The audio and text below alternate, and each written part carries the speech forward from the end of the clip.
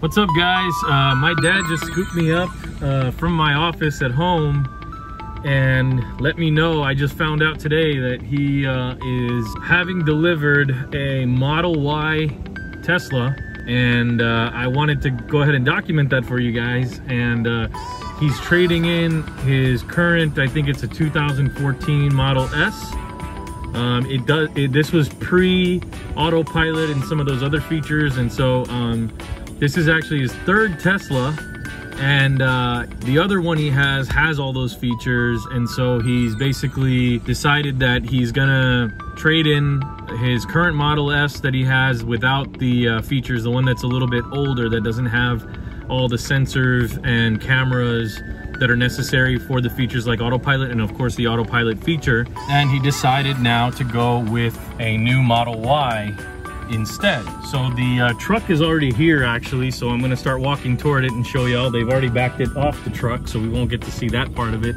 But uh, once we're in there, I'll go ahead and start uh, describing it. But let's go ahead and take a look at the car.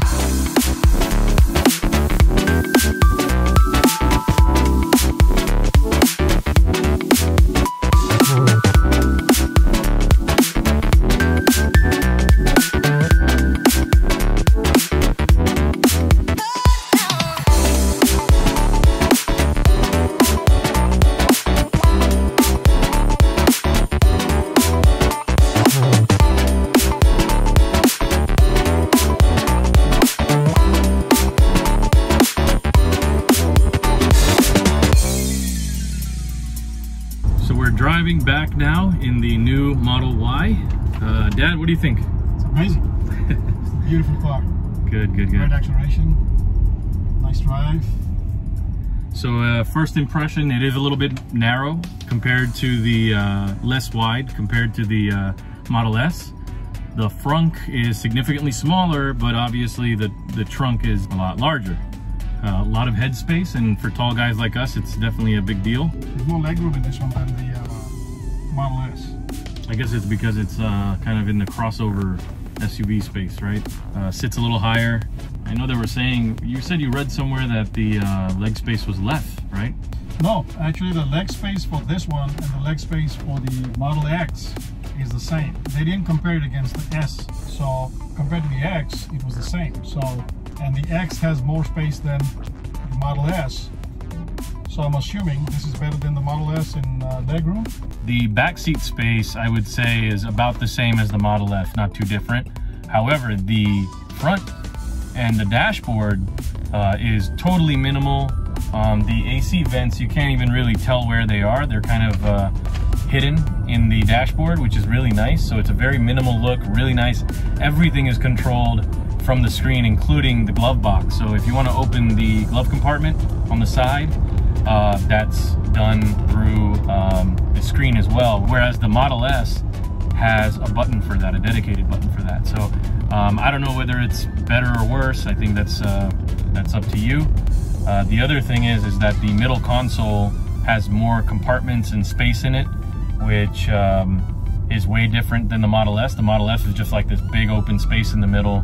And I don't know if there's any options. Again, I'm not a big Tesla buff, but um, that was one thing I wasn't crazy about because when you lay things in there, it slides around as you drive.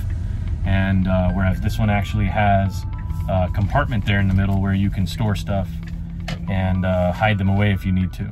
Uh, the delivery process with this car was a lot better. Uh, shout out to Z Transport out of San Antonio.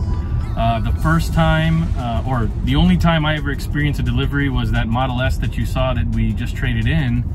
And um, that particular transport company, I don't want to call them out, and nor do I remember what company it was, uh, had multiple vehicles and a gasoline vehicle actually above that Model S, and it dripped motor oil all over the top of it. So that driver actually had to take the car with me to the car wash and wash it all off before he was able to turn it over to me um, and eventually did but you know it was just a mess and it was late already i think i got home at like 11 p.m that day uh, with the model s but uh, this was definitely much more smooth Yeah, Z Transport out of San Antonio.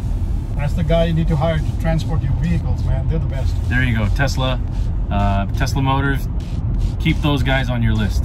Well, as I mentioned, I didn't know until about two minutes before we left that this car was even coming or that uh, it was on the way at all. I didn't know anything about it. But uh, uh, sorry for all you Tesla enthusiasts out there. I'm not well versed in the features. I know that uh, this one has those kind of economy wheels um, and some of the it's a dual it's a dual motor version 350 miles range. Okay, it's got the 350 mile range, which is good. Um, but if you guys have any questions at all about this particular uh, car or um, any specific questions about the Model Y in general that you think I can answer, uh, go ahead and uh, go ahead and ask in the comment section below, and I'll do my best to answer, guys. Thanks for watching, and uh, don't forget to subscribe and ring the bell for notifications. Thanks, guys.